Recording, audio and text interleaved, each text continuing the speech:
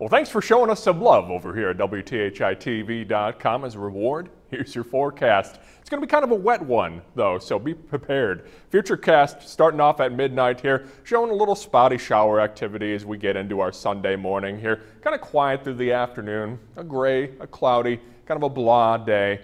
Great day to stay indoors, but if you do have to be out, just keep an umbrella with you and you should be fine. But as we get into tomorrow evening, and into the overnight hours for Monday. This is where the heavy rain chances pick up. You'll need the umbrella as you start off your morning commute, whether you're taking the kids to school or headed off to work. Windshield wipers are going to be working overtime, and that's the way it'll stay as we go about our Monday. Into Tuesday, rain starts to taper off a little bit, but we might have another chance for some heavy rainfall as we get into Tuesday afternoon and evening. So for tonight and into tomorrow, temperatures in the upper 60s, an isolated shower possible.